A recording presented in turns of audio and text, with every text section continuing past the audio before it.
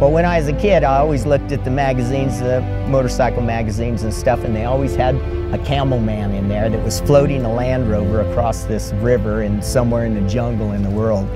And so I, I always thought that was really cool.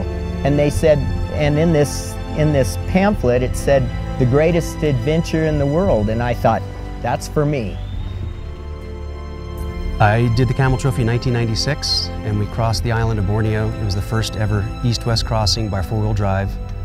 I competed with Fred Hoos and uh, it was a life-changing experience. I mean, it really set me on my path. It was, I had been out of the military for three years before, but was still looking for something, something I needed to test myself in.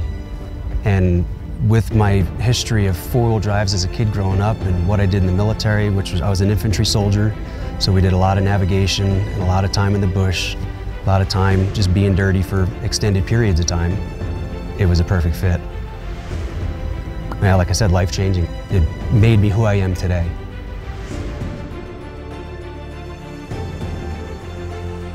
I saw an ad for Camel Trophy in an off-road magazine and it showed a fellow obviously in the jungle. Vehicle was covered in mud and, and vegetation, and, uh, and I thought, wow, that's yeah, that's for me. That they're out there doing something pretty spectacular. I, I want to try and go and do that.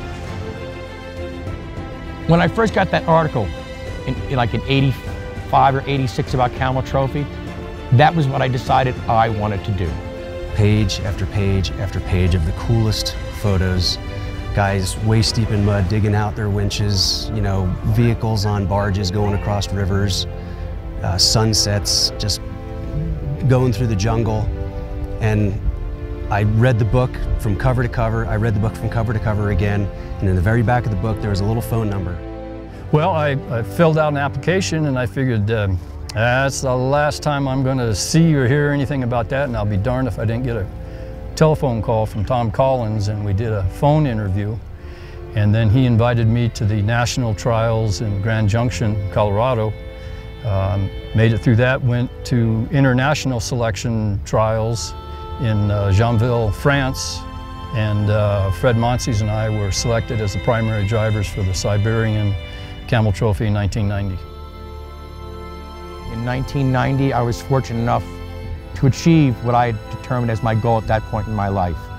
I was fortunate enough to go back again and do two more camel trophies as a support driver in Tanzania and then as a convoy mechanic. In 1995, I applied. A friend of mine had told me about it. Um, at that point in time, I was on my way to Africa to go climb Mount Kilimanjaro. Once I was accepted for the U.S. trials, then the training really began. I remember the, the uh, coach Tom Collins always saying, you know, you, need to be able to change that tire quickly. And I was always so proud when I called him and said, you know, I, I got it done in seven minutes. And he said, well, that's good, but really we'd like it in five.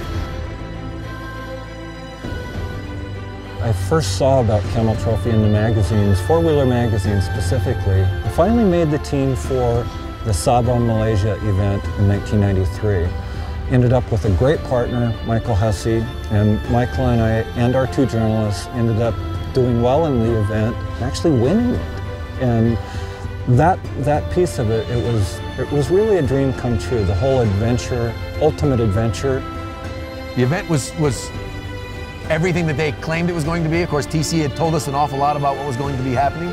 But you go down there, you get about a day to acclimate to the, to the climate, and then it's two days, throw you right under the bus and two days worth of special tasks, 48 hours straight, minimal or no sleep to see how you're going to deal with that sleep deprivation thing.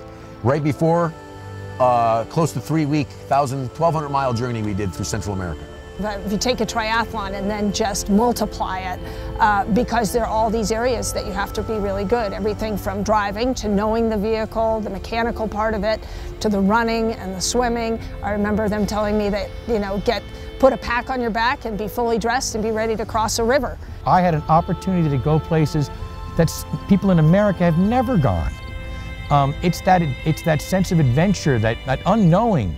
Um, it's the the desire to do something and keep on going when the environment you're in is pretty freaking undesirable. My year there was 15 different countries, so 15 different cars and plus about 15 support cars. So a 30 car convoy going through, you know, the, the traditionally the, the hardest roads in the, in the world. Um, so everybody had to work together to get all the cars through. And we had a deadline. I mean, you know, we were going to be in Georgetown on this day, regardless of what happened. And sometimes that meant, you know, winching through mud bogs around the clock. So we had to stay on, on uh, schedule.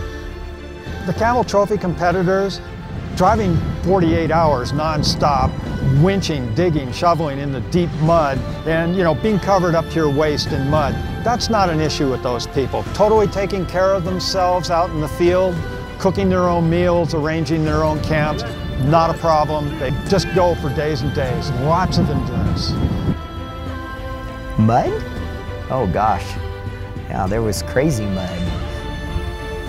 What was what was probably the most one of the most interesting things is you push yourself. You're you're you're not taking a bath, then when you do take a bath, it's in a it's in a river with leeches or it's or it's just rainwater because you're just drenched in mud for three weeks. It was pretty interesting how different that land is compared to the land that maybe I was used to. I think I learned how far you can push yourself, what you can do under great um, tension. Camel is about maintaining a positive, upbeat attitude. You could be the nicest person in the world at 8 o'clock in the morning, at noon, at 2 o'clock, but what are you like after 36 hours of being hungry, being wet, being cold, and being tired? If you turn into a just then you're pretty much useless. But if you can still maintain a positive attitude and motivate the people around you, you're still going to be moving forward productively.